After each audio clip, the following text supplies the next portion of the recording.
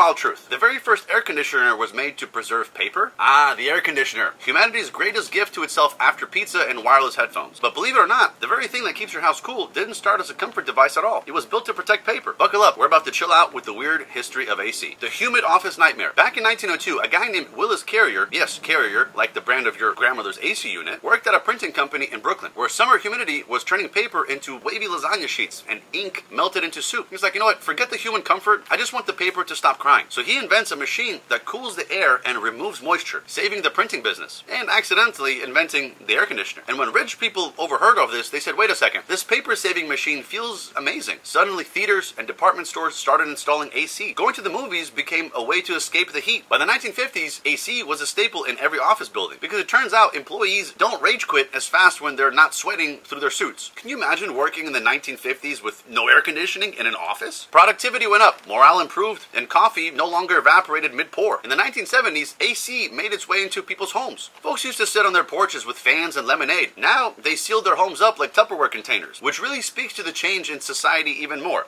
Just think about it. With how closed off people have become, it makes sense that with inventions like this, a more closed off society developed. If we at one point kept our doors open and hung out on our porch just to cool off, that's vastly different from locking up inside and cooling off all on your own. Over time, we may have overdone it. Today, AC is in cars, malls, planes, and even igloos. But there is a downside. Over 10% of the global electricity is used just to keep us cool. We've basically reverse engineered summer, and it's not exactly great for the environment. So now, next time you're chilling under your air vent, thank a sweaty printing press from 1902 and a man who just wanted his ink to stay put. Like and subscribe for more cool stories.